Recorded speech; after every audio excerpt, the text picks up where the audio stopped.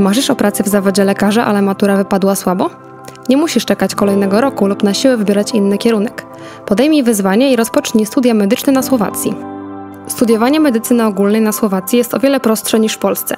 Po pierwsze, wyniki z matury w ogóle nie mają znaczenia. Wystarczy, że pozytywnie zaliczysz egzamin wstępny.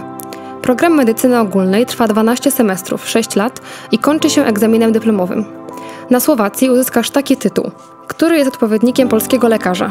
Ale to nie wszystko. Na Słowacji nie odbywamy stażu podyplomowego, który w Polsce trwa 13 miesięcy.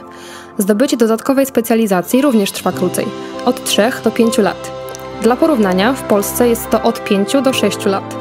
Ok, to teraz szybka kalkulacja i wyniki. Zdobycie pełnych kwalifikacji w Polsce trwa 12-13 lat, a na Słowacji od 9 do 11. A jak wygląda praca lekarza? Na pewno jest to zawód dający wiele satysfakcji, pomimo ogromnego stresu, z jakim musi zmagać się lekarz. Nauka trwa tak naprawdę całe życie, ale praca jest niezwykle ciekawa i pełna wyzwań.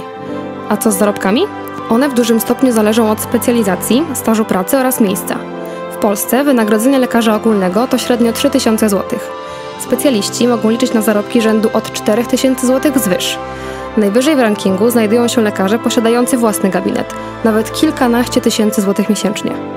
Jednak najwięcej lekarze zarabiają w Anglii, krajach skandynawskich i Stanach Zjednoczonych.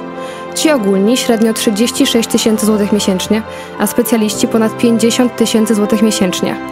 Jakie są w takim razie zalety studiowania medycyny ogólnej na Słowacji? Znacznie krótszy okres zdobywania kwalifikacji, nauka nastawiona na praktykę, kontakt z pacjentem od pierwszego roku studiów, konkurencyjna wysokość wczesnego, zajęcia w języku angielskim, lektorat języka słowackiego, wysoka pozycja tutejszych uczelni w rankingu najlepszych uniwersytetów w Europie, bardzo pozytywna opinia obecnych studentów oraz absolwentów, a także nieograniczona darmowa pomoc agencji Medycyna Słowacja. Zapraszamy do lektury naszego artykułu. Link w opisie.